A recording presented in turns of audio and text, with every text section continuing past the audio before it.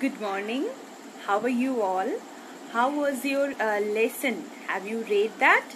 Uh, we have started in the previous class uh, A Horse and Two Goats by R.K. Narayan, right? And I uh, taught a quarter of the story uh, to you, which I am going to proceed further today. I did not get any type of uh, complaint or any type of uh, issues on your side yet, so I can uh, I, I, I can think that or I, I can get assured that you understood everything. Um, so let us begin with uh, whatever we have uh, left from the next line onwards.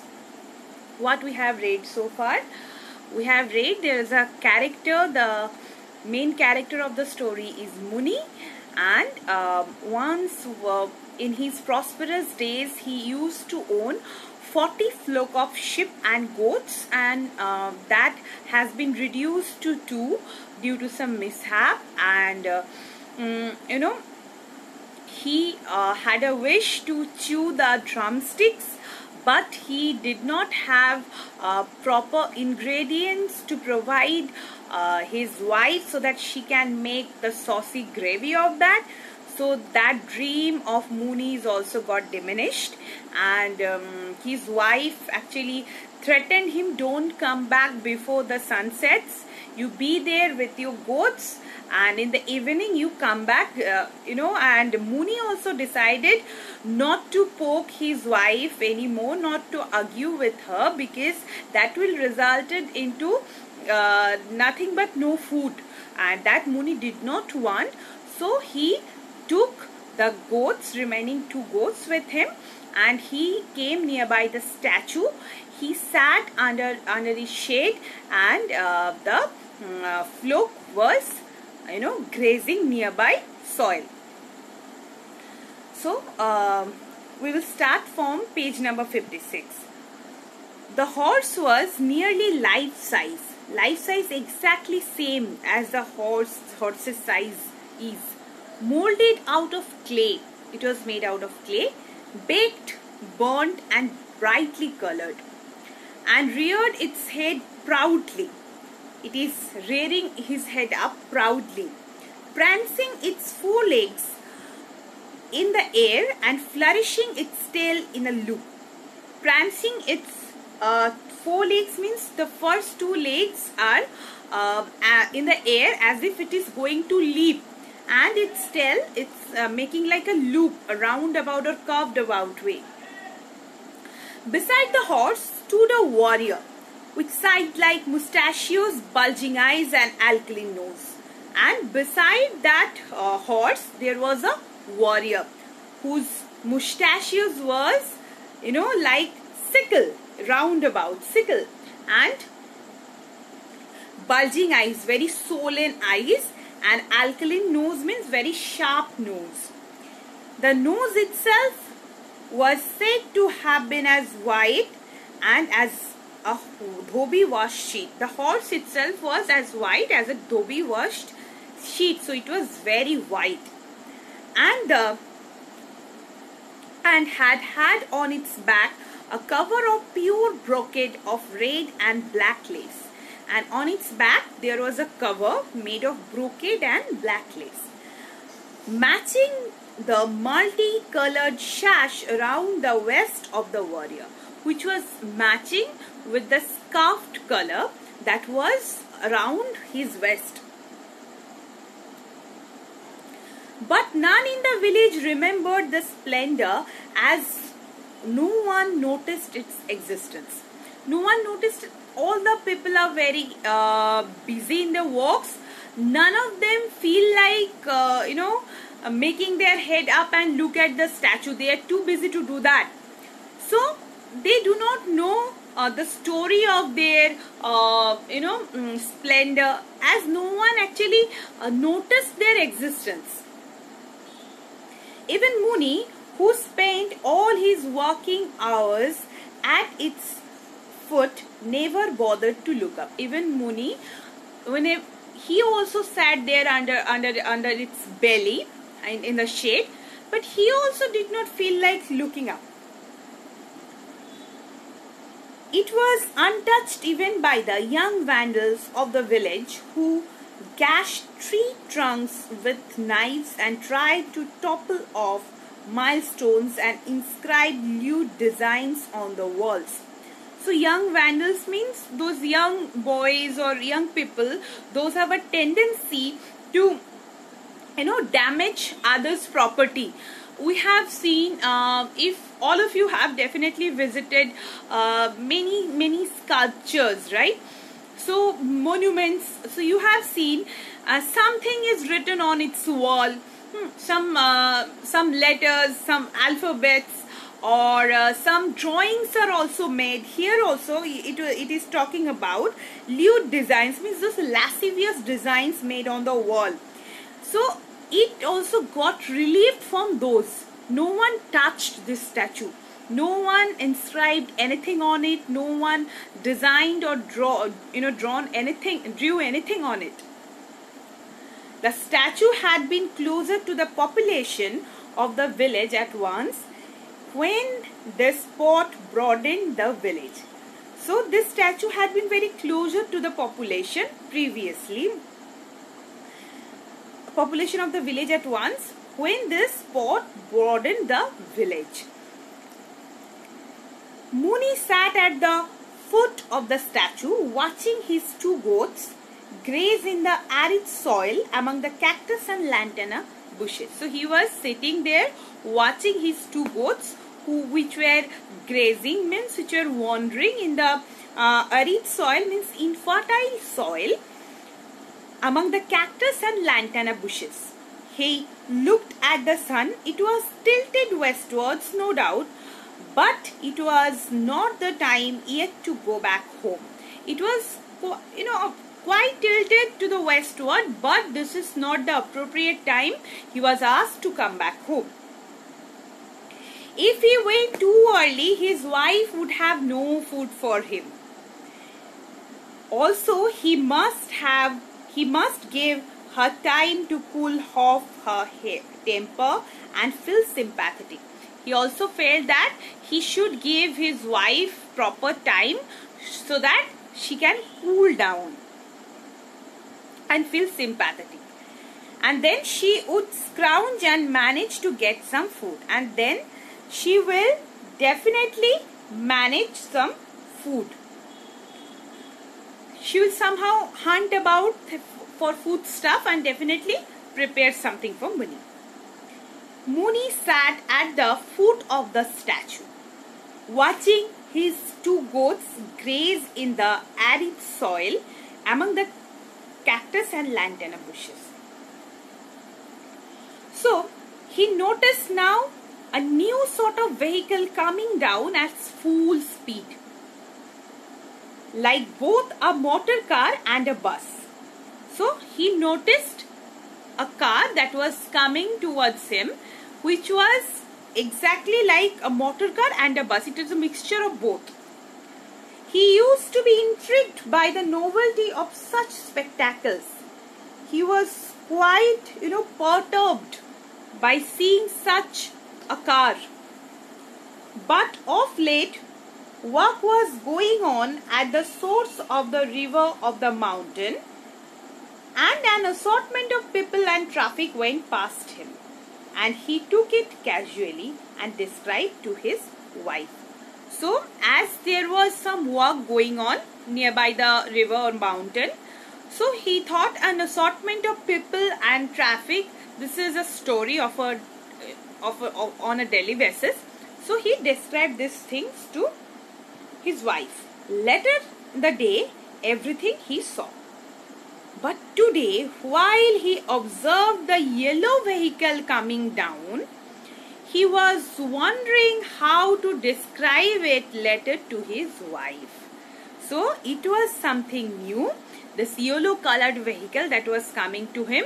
So he was in a dilemma how to describe about this yellow vehicle to his wife as he used to say everything to his wife in detail. How to describe letter to his wife when it spotted and stopped in front of him. So when it just spit and stopped in front of him. A red-faced foreigner who had been driving it got down and went round it. So a red-faced foreigner, he was actually driving this motor car. He came out of the car and got down and went round it, stooping, looking and poking under the vehicle. He was bending his head down and you know poking under the vehicle. Then he straightened himself up, looked at the dashboard, stared at Muni's direction and approached him. Then he came back and looked at it, his dashboard. Then he looked towards Muni's direction and asked or approached him.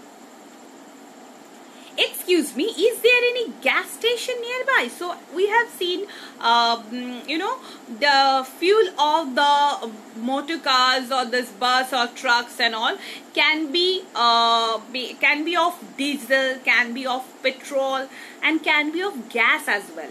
So this motor car was uh, actually going on gas. Okay, so uh, as whenever we are running out of petrol in our cars or in our uh, bikes we stopped uh, nearby the petrol pump and asked for the petrol likewise this man was looking for gas station so can he uh, so that he can fill his uh, motor car with gas so that he can go further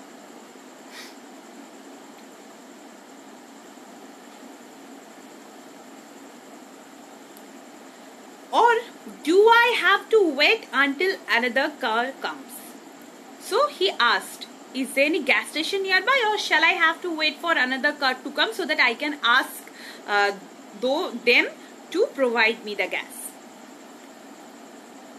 He suddenly looked up at the clay horse and cried, marvelous, without completing his sentence. Muni felt he should get up and run away and cursed his age. He could not readily put his limbs into action. So, while talking to Muni, he looked at the statue and said, marvelous. But Muni, since he knows nothing but Tamil, he couldn't understand what does the meaning of what is the meaning of the word. So he felt like just you know leave the place right away and he just wanted to run away from there. But he was cursing his age as he was much older to do that. And due to his age, even if he wants to run, he couldn't do so. The red-faced man wore khaki clothes. Evidently a policeman or a soldier. Muni said to himself, he will chase or shoot if I start running. So Muni was thinking, if I start running and if he uh, is a police officer, he may suspect me and he may shoot me, right? Some dogs chase only those who run. Oh, so Shiva protect me. Shiva is the name of a god in Hindu mythology. I don't know why this man should be after me. I don't know why this man has come to me. Meanwhile, the foreigner cried, Marvelous! Again, nodding his head. He paced around the statue with his eyes fixed on it. Muni sat frozen for a while and then fidgeted and tried to age away. Again he said marvelous. His eyes was fixed on it. But Muni also got terrified. Again he decided to just run away from the place but again he did not do so and then fidgeted. Fidgeted means became restless and tried to enjoy, tried to run away. Now the other man suddenly pressed his palms together, smiled and said, Namaste, how do you do? Who said this? The foreigner who was the red-faced man. At which Muni spoke the only English expressions he had learned, yes, no. So here you can see the clash of cultures. Being uh, you know belong he was uh, an inhabitant of such um, such a place where people do not get the chance uh, to be literate. And it was very small and he belongs to a very small village. And uh, he got married when he was 10 he was not given the scope to you know study to know alphabets to know other languages. So he was very unfortunate. That is why he somehow managed knowing only two words one yes and another is no. So the later on in the story you will get to see the conversation that will take place in between the foreigner and this character named Muni. It will definitely rise your humor you will definitely laugh but as I told in the previous class try to fetch the innermost idea what R.K. Narayan wants to portray actually through this story so Having exhausted his English vocabulary, he started in Tamil. So, only these two words are known to him. And then his vocabulary got exhausted. Then he started speaking in Tamil. My name is Muni. These two goats are mine and no one can gainsay it. My name is Muni. These two goats are mine and no one can deny this. Though our village is full of slanderers these days, who will not hesitate to say that what belongs to a man does not belongs to him. So nowadays our village is full of malicious people and they can say that um, you know the property of the owner is actually not the property of his they can say since this uh, this goats belong to me they can say I do not own this. They can say anything. They are malicious. The foreigner faithfully looked at in looked in the direction indicated by Muni's fingers, gazed for a while at the two goats and the rocks, and with a puzzled expression took out his silver cigarette case and lit a cigarette. So he the foreigner, as he knows only English, he was also facing the difficulty to understand Tamil. He did not understand a single word and he got very much puzzled as he was looking at the as a, at the goats and at the rocks and he did not understand what the man is speaking about. So being exhausted, he just took out a silver case of cigarette Suddenly remembering the courtesies of the season, he asked, Do you smoke? So he found it is very courteous to uh, offer someone uh, whenever he is going to smoke. Okay, so he asked Muni, Do you smoke? Muni answered, Yes, no, since he knows only two words. Whereupon the red faced man took a cigarette and gave it to Muni, who received it with surprise having had no offer of a smoke from anyone for years now. So he was very excited as he was uh, not offered a cigarette in this uh, previous years hmm. and now he is uh, being offered with that. He had always wanted to smoke a cigarette. Only once did the shopman give him on credit and he remembered how good it had tasted. So he always uh, has a hidden desire to smoke, okay, to smoke a cigarette. But yes, he um, did not uh, manage that cigarette for him and he was always running out of money. So we have uh, already witnessed that episode when he uh, went to the shop man, man and how he got insulted there. So once the this shop owner gave one cigarette to him and he still remembered how good it was tasted. Obviously he, he has given that cigarette on rent. Okay and on loan. Obviously Muni did not have the capacity to repay that. The other flicked the lighter open and offered a light to Muni. The other just flicked the lighter open and offered this to Muni. Muni felt so confused about how to act that he blew on it and put it out. so he did not understand what does it mean and what should uh, he how should he act at that moment. So he that he just blew on it and put it out. The other puzzled but undaunted. The other means the foreigner. He was again puzzled but undaunted. He decided not to give up flourished his lighter presented it again and lit Muni's cigarette Muni drew a deep puff and started coughing.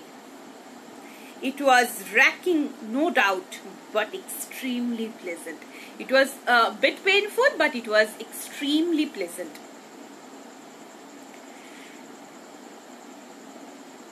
When his cough subsided, he wiped his eyes and took stock of the situation understanding what the other man was not an inquisitor of any kind. So he understood after this uh, situation subsided, he understood this man is not an inquisitor, means he is not here to inquire. Yet in order to make sure, he remained wary. In order to make sure what is the purpose of the man in coming in, he became very cautious. No need to run away from a man who gave him such a potent smoke. He was telling himself, who offered such a strong and effective smoke, there is no point of running away from him. His head was reeling from the effect of one of those strong American cigarettes made with roasted tobacco. His head started spinning and as it was made of roasted American tobacco. The man said, I come from New York, took out a wallet from his hip pocket and presented his card. So the man said he was from New York and he showed his identity card. Muni shrank away from the card. He got again very much terrified. Perhaps he was trying to present a warrant and arrest him we have seen whenever a police officer comes and uh, shows us any type of arrest warrant generally he shows a type of card and or the arrest warrant. So he Muni was thinking about that situation. Be aware of khaki one part of his mind warned. Take all the cigarettes or whatever is offered but don't get caught okay maybe he's offering cigarette take all the cigarettes whatever he takes do that but don't get caught. Be aware of khaki. He wished he weren't 70 as the shopman had said. At 71 at 70 one didn't run but surrendered to whatever came. So he was wishing uh, like he should he should not be 70 as the shopman said. Means it was true so at 70, one can only uh, get arrested whatever came to him because at 70, no people should have the, mm, you know, efficiency to run. He could only ward off travel by talk. So he went on. In all the chess Tamil for which Kritam was famous, he said before God Sir, so he decided not to give up. He started speaking in Tamil for which the Kritam was famous for. He said, before God, sir, Bhagwan who sees everything. So see, he is just speaking whatever he doesn't know sir. He, he doesn't know actually. He was just speaking anything that comes into his mind. So he started saying, before God, sir, Bhagwan who sees everything. I tell you, sir, that we known we know nothing of the case. If the murder was committed, whoever did it will not escape. So Muni started speaking. See, about the murder, no, you just don't get very much tensed. Who did it actually, no, will not be able to go away. Bhagwan is all seeing. Bhagwan is seeing all, huh? Don't ask me about it. I know nothing. So don't ask me or inquire anything about that dead body. I know nothing. A body had been found, mutilated and thrown under a tamarind tree at the border between Kritam and Kuppam a few weeks before. Okay, actually this happened. A dead body mutilated means what? It means it was disabled or it was amputated. The dead body was found between uh, under the tamarind tree which was between uh, the two villages Kritam and Kuppam giving rise to much gossip and speculation. Yes, it was causing all the gossips and speculations of people. Muni added an explanation. Anything is possible there. People over there will stop at nothing. The foreigner nodded his head and listened courteously, though he understood nothing. So, Muni actually added an explanation. This, this was an added version on his part. Anything is possible there, not here, there. People over there will stop at nothing. People, actually they are unstoppable. They will not stop at anything. The foreigner nodded. He did not understand anything, but he nodded. I am sure you know when this horse was made, said the red man and smiled ingratiatingly. So, I am sure when this horse was made, this foreigner is asking, said the red man, smiled ingratiatingly. Means with flattery, he smiled. Muni reacted to the relaxed atmosphere by smiling himself and pleaded, Please go away, sir. I know nothing. Because Muni did not understand what this foreigner is speaking. I promise we will hold him for you if we see any bad character around. I can promise you, sir, I can hold that man who actually is the murderer for you. We will bury him up to his neck in a coconut pit if he tries to escape. We will just bury him up to his neck in a coconut uh, coconut pit if he tries to escape. But our village has always a clean record. Don't suspect us because our village always has a clean record. Must definitely be the other village. That is Kuppam. Now the red man implored. Please, please, he begged. Please, please, I will speak slowly. Please try to understand me. Can't you understand even a simple word of English? See how, you know, he was very helpless. The foreigner was also, uh, you know, he was also very desperate uh, to understand Muni's language at the same time to get understood on Muni's part. But this is not happening. Everyone in this country seems to know English. I have gotten along with English everywhere in this country, but you don't speak it. Have you any religious or spiritual scruples against uh, English speech? See, here we can see actually Muni's miserable condition, his plight, because he was not given the chance to read or study. But he is right now facing such a situation that was completely unexpected. The man who came from New York is asking Muni to know English and he was expecting like every as everyone knows English it is very obvious for everyone to know it and he is saying that everyone knows can't you understand I'll speak slowly but see is, is it Muni's fault that he is not getting whatever the foreigner is saying? Tell me this is the clash of cultures. He is very much educated. He has given every means possible to get educated, to become successful. But at Muni's case, this is not happening. He belongs to a very miserable condition in every respect. So he's the foreigner is asking, have you any religious or spiritual struggles against English? Have you, do you have any hesitation against English? Why can't you speak English? Muni made some indistinct sound in his throat and shook his head. See how helpless he is.